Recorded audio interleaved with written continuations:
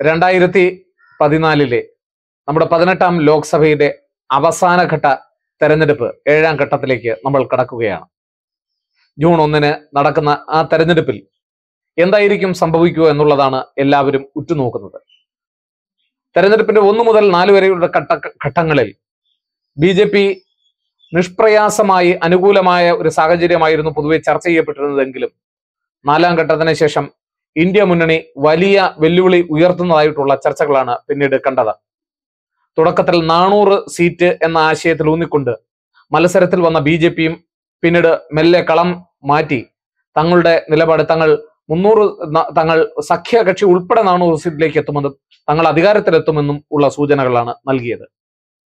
എന്തായാലും ഏഴാം ഘട്ട തെരഞ്ഞെടുപ്പ് ബി ജെ പിയെ സംബന്ധിച്ചിടത്തോളം ഇതര കക്ഷികളെ സംബന്ധിച്ചിടത്തോളം അതിനിർണായകമാണ് എന്നുള്ളതാണ് ഏറ്റവും പ്രധാനം. ഏതാണ്ട് അൻപത്തിയേഴ് മണ്ഡലങ്ങളിലായിട്ടാണ് അമ്പത്തിയേഴ് സീറ്റുകളിലായിട്ടാണ് ഈ ഏഴാം ഘട്ട തെരഞ്ഞെടുപ്പ് നടക്കുന്നത്. ഇത് ദേശീയ പാർട്ടികളെ സംബന്ധിച്ചിടത്തോളം പ്രാദേശിക പാർട്ടികളെ സംബന്ധിച്ചിടത്തോളം വളരെയേറെ നിർണായകമാകുന്ന ഒരു തെരഞ്ഞെടുപ്പാണ്. തൃണമൂൽ കോൺഗ്രസിനെ പോലെയുള്ള പ്രാദേശിക കക്ഷികൾ അല്ലെങ്കിൽ സംസ്ഥാന ഭരണം നിയന്ത്രിക്കുന്ന കക്ഷികൾ ഈ തെരഞ്ഞെടുപ്പോടെ ദേശീയ കക്ഷി മാറാ ആയി മാറാനുള്ള പരിശ്രമങ്ങളാണ് നടത്തുന്നത്. ബി ജെ പിയെ സംബന്ധിച്ചിടത്തോളം ഇവിടുത്തെ നില മെച്ചപ്പെടുത്തുക എന്നുള്ളത് അതീവ ദുഷ്കരമായ ഒരു ദൗത്യം കൂടിയാണ്. ഉത്തർപ്രദേശിലെ പതിമൂന്ന് സീറ്റുകളിലേക്കും പഞ്ചാബിലെ പതിമൂന്ന് സീറ്റുകളിലേക്കും പശ്ചിമ ബംഗാളിലെ ഒമ്പത് സീറ്റിലേക്കും ബീഹാറിലെ എട്ട് സീറ്റിലേക്കും ഹിമാചൽ പ്രദേശിലേക്ക് നാല് സീറ്റിലേക്കും ജാർഖണ്ഡിലെ മൂന്ന് സീറ്റിലേക്കും ചണ്ഡീഗഡിലെ ഒരു സീറ്റിലേക്കുമാണ് ഏഴാം ഘട്ടത്തിൽ തെരഞ്ഞെടുപ്പ് നടക്കുന്നത്. ഉത്തർപ്രദേശിൽ നില മെച്ചപ്പെടുത്തുവാൻ ബി ജെ പി പരിശ്രമങ്ങൾ നടത്തുമ്പോൾ ഇനിയുള്ള പതിമൂന്ന് സീറ്റുകളിൽ നേരത്തെ ഒൻപത് സീറ്റും അവർ സ്വായത്തമാക്കിയിരുന്നു എന്നുള്ള കാര്യം നാം തിരിച്ചറിയണം. അതുകൊണ്ട് തന്നെ ഇനി നടക്കാൻ പോകുന്ന തെരഞ്ഞെടുപ്പിൽ ആ നില മെച്ചപ്പെടുക അപ്പനാദളിന് രണ്ട് സീറ്റ് നേരത്തെ ഉണ്ടായിരുന്നു. ആ മണ്ഡലവും ഇപ്പോൾ മത്സരത്തിൽ ഉണ്ട്. അപ്പൊ അവിടെ നില മെച്ചപ്പെടുത്തുക അല്ലെങ്കിൽ ആ സീറ്റുകളൊക്കെ പിടിക്കുക എന്നുള്ളത് ബി ജെ പിയെ സംബന്ധിച്ചിടത്തോളം ഏറ്റവും പ്രധാനപ്പെട്ട ഒരു കാര്യമാണ്. പഞ്ചാബ് എടുത്ത് പരിശോധിക്കുകയാണെങ്കിൽ നമുക്കറിയാം കഴിഞ്ഞ തെരഞ്ഞെടുപ്പിൽ കോൺഗ്രസ് നേട്ടമുണ്ടാക്കിയ ഒരു സ്ഥലമാണ്. മൊത്തം പതിമൂന്ന് സീറ്റുകളുള്ള പഞ്ചാബിനെ സംബന്ധിച്ചിടത്തോളം കഴിഞ്ഞ തെരഞ്ഞെടുപ്പിൽ എട്ട് സീറ്റിൽ കോൺഗ്രസും രണ്ട് സീറ്റിൽ ശിരോമണി അകാലിദളും രണ്ട് സീറ്റിൽ ബി ജെ പിയും ഒരു സീറ്റിൽ ആം ആദ്മി പാർട്ടിയുമായിട്ടാണ് അങ്ങനെ പതിമൂന്ന് സീറ്റുകളിലാണ് അവിടെ ഫലം പ്രഖ്യാപിച്ചപ്പോൾ. കോൺഗ്രസ് അധികാരത്തിൽ കോൺഗ്രസിൽ മെജോറിറ്റി ആ സംസ്ഥാനത്തിൽ നേടിയത് എന്നുള്ളത് നമ്മൾ തിരിച്ചറിയണം. ഇത്തവണ ആത്മ ആം ആദ്മി പാർട്ടിയുമായി അവർ സഖ്യത്തിനില്ല എന്നുള്ളതാണ് അവിടെ പഞ്ചാബിൽ അവർ സഖ്യത്തിലല്ല എന്നുള്ള കാര്യം നാം മറന്നു പോകരുത്. അവർ വളരെ സെപ്പറേറ്റ് ആയി മത്സരിക്കുന്നു എന്നുള്ളതാണ്. ഇന്ത്യൻ നാഷണൽ കോൺഗ്രസ് അവിടെ പതിമൂന്ന് സീറ്റിലും മത്സരിക്കുന്നു. ബി ജെ പി അവിടെ പതിമൂന്ന് സീറ്റിലേക്കും മത്സരിക്കുന്നു. അതുപോലെ തന്നെ ശിരോമണി അകാലി ദൾ അവിടെ പതിമൂന്ന് സീറ്റിലേക്ക് മത്സരിക്കുന്നു എന്നുള്ളതാണ്. അവിടെ ഇന്ത്യ മുന്നണി സഖ്യമായിട്ടുള്ള സഖ്യത്തിന് അവിടെ ഏതാണ്ട് പതിനൊന്ന് സീറ്റുകൾ വരെ കിട്ടാം. പതിനൊന്ന് മുതൽ പതിമൂന്ന് സീറ്റുകൾ വരെയും പതിനൊന്ന് സീറ്റുകൾ വരെ കിട്ടാം എന്നുള്ളതാണ് മിക്ക സർവേകളും ഫലത്തിലൂടെ ചൂണ്ടിക്കാട്ടിയിട്ടുള്ളത്. ബി ജെ പിക്ക് അവിടെ ഒന്ന് മുതൽ മൂന്ന് വരെ സീറ്റുകൾ കിട്ടാമെന്നും ശിരോമണി അകാലിദളിന് അവിടെ ഒന്ന് മുതൽ രണ്ടുകൾ സീറ്റ് വരെ കിട്ടാമെന്നും ഉള്ളതാണ് പൊതുവെ മിക്ക സർവേകളും ചൂണ്ടിക്കാണിക്കുന്ന ഇതുവരെയുള്ള പ്രീ പോൾ സർവേകളെല്ലാം തന്നെ ചൂണ്ടിക്കാണിക്കുന്നത്. അതുകൊണ്ട് ഈ കോൺഗ്രസ് എന്ന് പറയുന്നത് ബി ജെ പിയെ സംബന്ധിച്ചിടത്തോളം വളരെ പ്രധാനപ്പെട്ടതാണ്. പ്രത്യേകിച്ച് ഇന്ത്യ മുന്നണിയെ സംബന്ധിച്ചിടത്തോളം അതീവ പ്രധാനപ്പെട്ടതാണ്. കർഷക പ്രക്ഷോഭവും ബി ജെ പി വിരുദ്ധ നിലപാടുകളും ഒക്കെ ധാരാളമായി ചർച്ച ചെയ്യപ്പെടുന്ന ഈ പഞ്ചാബ് തീർച്ചയായിട്ടും ഇന്ത്യ മുന്നണിയെ സംബന്ധിച്ചിടത്തോളം ഒരൊറ്റ സീറ്റ് പോലും പ്രാദേശിക കക്ഷികളിലേക്ക് പോകാതെ നേടിയെടുക്കുക എന്നുള്ളത് അതീവ ദുഷ്കരമായിട്ടുള്ള ഒരു കാര്യമാണ്. പശ്ചിമ ബംഗാളിൽ അവസാന നിമിഷം നമുക്കറിയാം ഈ പൗരത്വ ഭേദഗതി നിയമം നടപ്പിലാക്കുന്നതിലൂടെ അതിന് നടപടികൾ എടുക്കുന്നതിലൂടെ പൗരത്വം പൗരത്വം അനുവദിക്കുന്നതിലൂടെ അവർ ലക്ഷ്യം വെക്കുന്ന രണ്ട് പ്രബല പ്രബല വിഭാഗങ്ങളുടെ വോട്ടുകൾ. മധു വിഭാഗത്തിന്റെയും അതുപോലെ തന്നെ രാജവംശ വിഭാഗത്തിന്റെയും വോട്ടുകൾ ഉറപ്പുവരുത്തുക എന്നുള്ള ഒരു വളരെ വലിയ ശ്രമമാണ് ബി ജെ പി അവസാന ഘട്ടത്തിൽ നടത്തുന്നത് എന്നുള്ളതാണ് യാഥാർത്ഥ്യം. അങ്ങനെയാണ് മാധ്യമങ്ങളൊക്കെ പറയപ്പെടുന്നത്. ബി ജെ പി അവസാന നിമിഷം ഏഴാം ഘട്ട തെരഞ്ഞെടുപ്പിലേക്ക് കടക്കുന്ന സമയത്ത് ഈ നിയമം അവിടെ നടപ്പിലാക്കിക്കൊണ്ട് ഉത്തരവിട്ടത് തന്നെ. പ്രത്യേകിച്ച് മമതാ ബാനർജിയുടെ എതിർപ്പുണ്ടായിട്ടും അവിടെ ഈ നിയമം നടപ്പിലാക്കിയത് തന്നെ.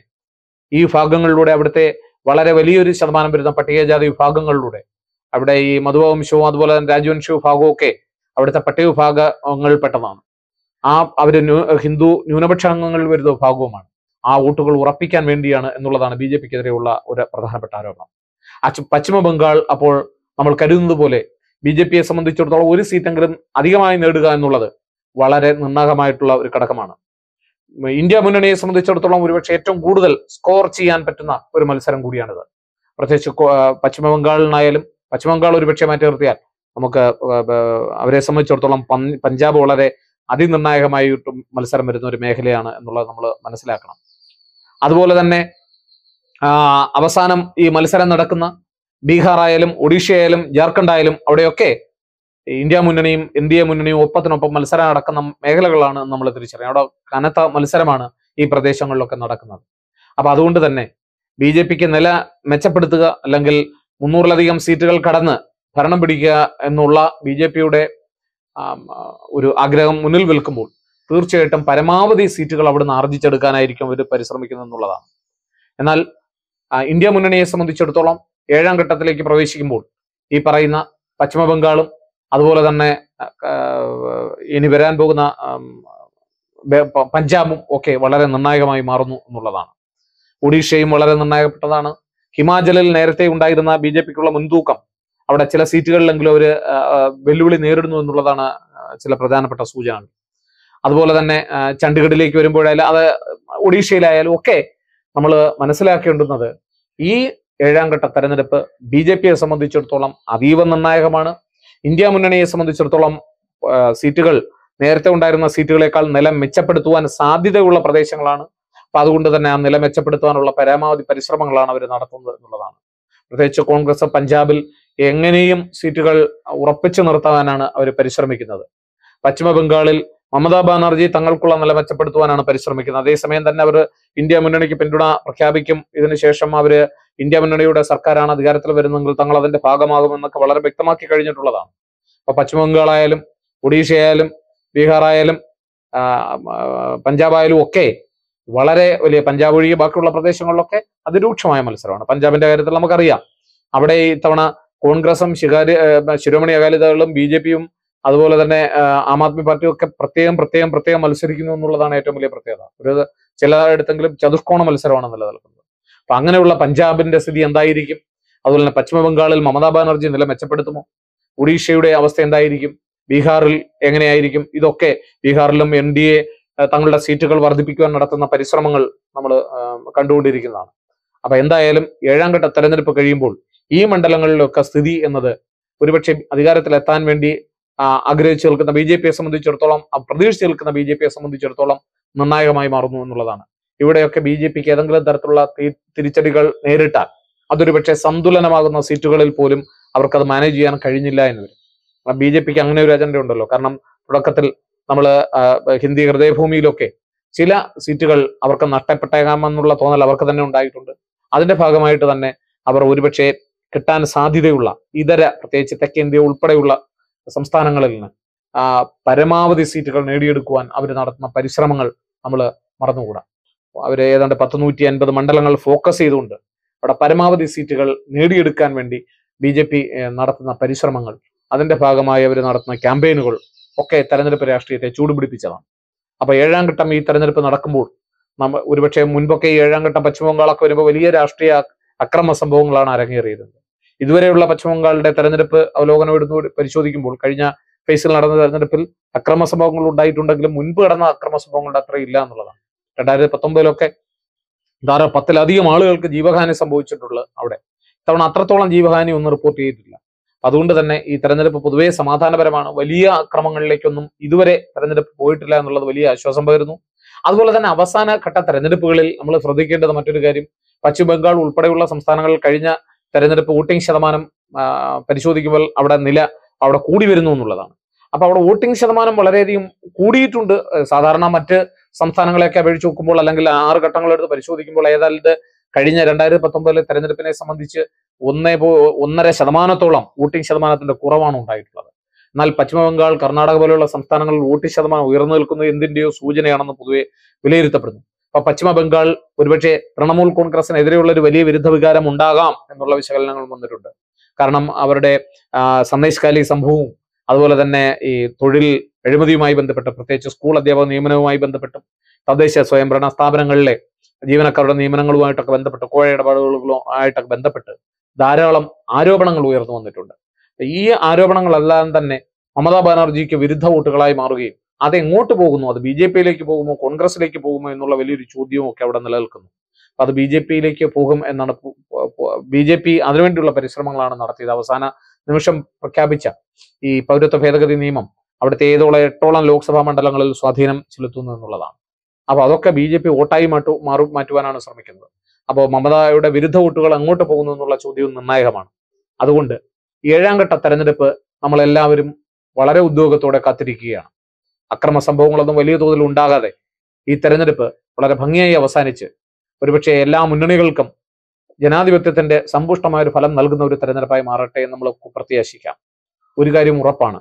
ഇവിടെ നിന്ന് നഷ്ടമാകുന്ന ഓരോ സീറ്റും ബി ജെ പിയെ സംബന്ധിച്ചിടത്തോളം ലക്ഷ്യത്തിൽ എത്താനുള്ള അവരുടെ ഉദ്ദേശത്തിന് തടസ്സമായി നിലനിൽക്കുമ്പോൾ ഇവിടെ നിന്ന് ലഭിക്കുന്ന ഓരോ സീറ്റും അത് തൃണമൂൽ കോൺഗ്രസിന് പ്രത്യേകമായാലും കോൺഗ്രസിന് പ്രത്യേകമായാലും ശിരോമണി അകാലിദളിന് പ്രത്യേകമായാലും ഇതുപോലെ വരുന്ന ചെറു ചെറു മുന്നണികൾക്ക് പ്രത്യേകമായി ലഭിക്കുന്നതായാലും അതൊക്കെ ഇന്ത്യ മുന്നണിയെ സംബന്ധിച്ചിടത്തോളം വളരെ നിർണായകമാണ് എന്നുള്ള കാര്യവും മറന്നു പോകരുത്.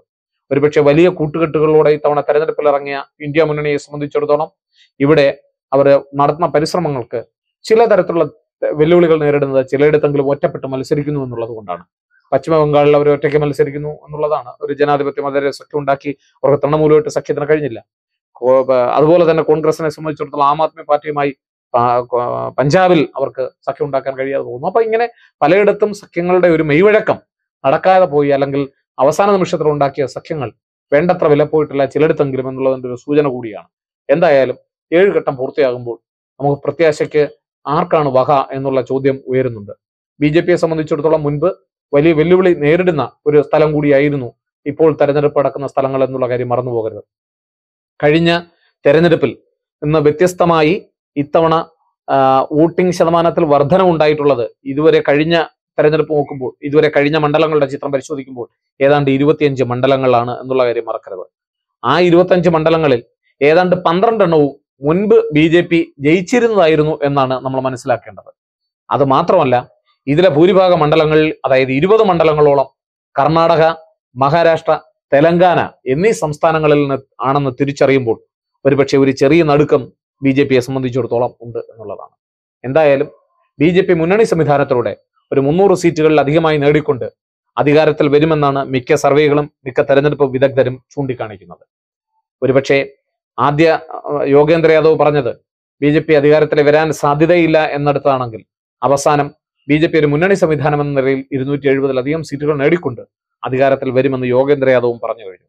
അതുകൊണ്ട് കേന്ദ്രത്തിൽ ഒരു മോദി ത്രീ സീറോ സർക്കാർ ഉണ്ടാകുമെന്ന് ഉറച്ചു വിശ്വസ് വിശ്വസിക്കുമ്പോൾ തന്നെ കടുത്ത നിലപാടുകൾ എടുക്കുവാനും ശക്തമായ നിലപാടുകൾ എടുക്കുവാനും വേണ്ടത്ര കിട്ടുറപ്പുള്ള ഒരു സംവിധാനമായി ബി ജെ പിക്ക് അധികാരത്തിൽ രണ്ടായിരത്തി ഇരുപത്തിനാല് മുതൽ തുടരാനാകുമോ എന്നുള്ളതാണ് ഒരു പ്രധാനപ്പെട്ട ചോദ്യം. എന്തായാലും ഏഴാം ഘട്ട തെരഞ്ഞെടുപ്പിലെ ഓരോ സീറ്റും നിർണായകമാകുന്നത് ഈ ചോദ്യത്തിനുള്ള ഉത്തരമായിട്ടാണ്. നമുക്ക് ജൂൺ നാല് വരെ കാത്തിരിക്കാം.